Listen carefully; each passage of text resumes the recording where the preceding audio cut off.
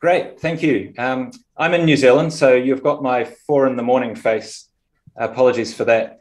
Um, so, in recent years, uh, many countries have undertaken a process of national risk assessment, producing national risk registers and, in many cases, um, risk uh, uh, matrices uh, for communication purposes. However, there's many shortcomings to these processes. For example, prior to a 2010 eruption of an Icelandic volcano, volcanic eruption did not appear as a risk in the UK National Risk Register.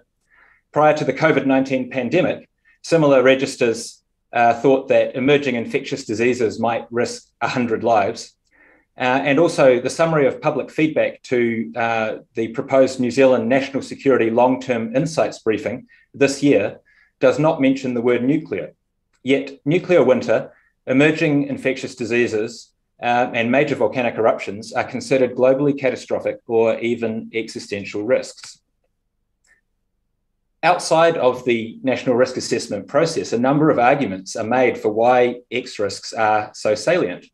It might be to do with moral aversion to discounting future lives, or the importance of anticipatory government governance, or perhaps uh, the importance of continuing human scientific and cultural endeavours over, over long periods of time. Um, but perhaps national risk assessment processes reject these arguments. Well, we can reject all the arguments on the previous slide and all consideration of the future.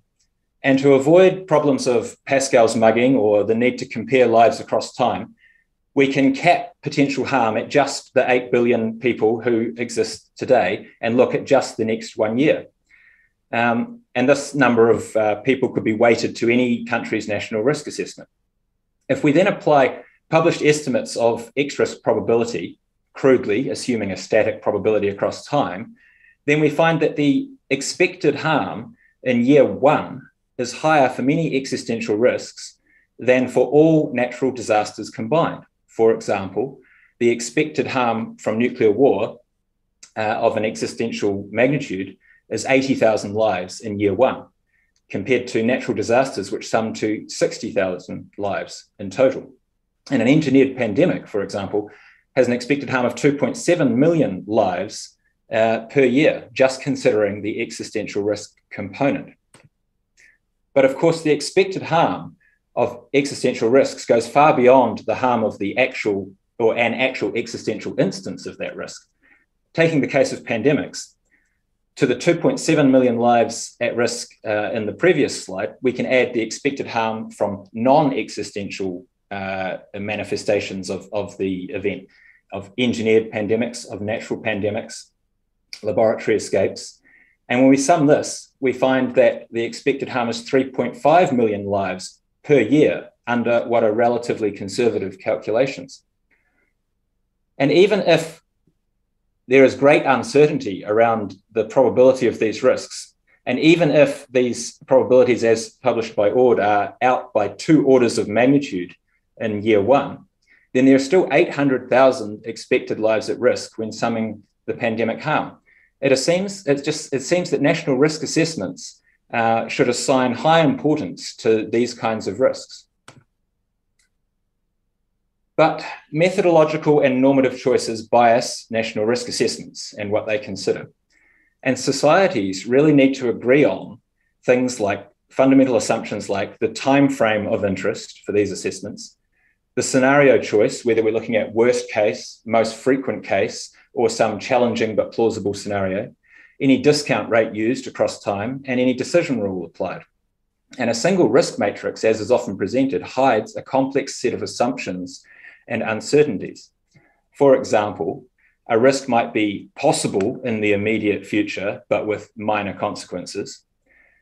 Uh, another version of the same risk might be unlikely in year one, but catastrophic if it were to occur. Across 50 years, the risk may become frequent and serious with a likely and catastrophic outcome. And trajectories across time uh, may not be represented in national risk registers. So, should we be looking at just one year across 50 years? Should we discount the future? Should we consider reasonable scenarios or the worst case? Should we maximize the minimum outcome or address the most common risks? there is no public mechanism, and this is the problem, to explore the outcome of national risk assessments under different assumptions. And choices about which risks to include in national risk assessments and which assumptions to base risk characterization upon are issues that merit public consultation and merit open expert peer review.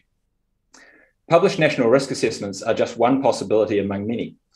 So we favour the development of a two way public interactive communication tool. And we've seen uh, during COVID 19 how interactive dashboards, where assumptions can be adjusted, uh, have led to wide public and journalistic understanding of the risk. We've all come to know what R is and how it can be uh, adjusted in estimates. Similar work could be undertaken with national risk assessments, and uh, this could provide a vocabulary for national risk discussions and such an online platform, driven by a database of risk information and relevant forecasts, could allow exploration of uncertainty, scrutiny of knowledge, identification of omissions, and maybe even crowdsourced solutions and many other features. We can give diverse people and diverse experts the tools to author their own national risk assessments and achieve experiential learning. So, in summary, We've suggested that even rejecting all the standard arguments for the salience of existential risk and performing simple expected value calculations, then X risks look more salient than all natural disasters combined in year one. But furthermore, to avoid groupthink or politicization of national risk assessment process assumptions, wide engagement is needed. The public must legitimize national risk assessment assumptions. And if many countries' national risk assessments highlighted existential risks, then a more outward looking and cooperative approach around the globe might be fostered. At the very least, inclusion of these risks in national risk assessments uh, or in the national risk process might make the case for investment in improved X risk characterization. Thank you. Let's give him an extra hand for calling in at 4 a.m. I think that's. uh, great. Uh, any any question in the room? Uh, this is something that we are very keen on as well, and have been um, uh, putting submissions into the UK government uh, uh, as well to, to, try and improve the our, our uh, national risk register. Um, yeah, any? Um, could you just maybe say like a, a, little bit more about how you envisage this interactive communication tool? Like, what are some of the the, the things that could be uh, adjusted? What are some of the sliders? Could you say a bit more about that, please?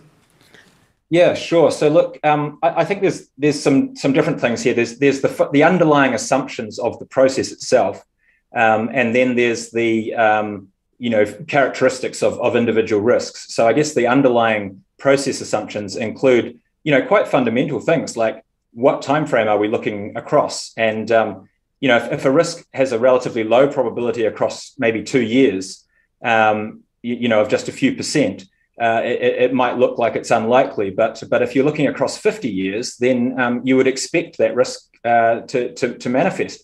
And so I think I think the public and uh, you know and, and expert stakeholders and so forth, you know, need, need to be able to um, uh, have this you know sort of put in front of them to play around with and and to and to um, uh, you know perhaps answer a, a set of questions about you know which assumptions they prefer. You know, do they want to discount uh, the, the, harms over 50 years, or, or do they want to, um, you know, not apply a discount rate, and, and so forth, and see uh, how the risks um, uh, rank basically um, when they when they do those sorts of adjustments.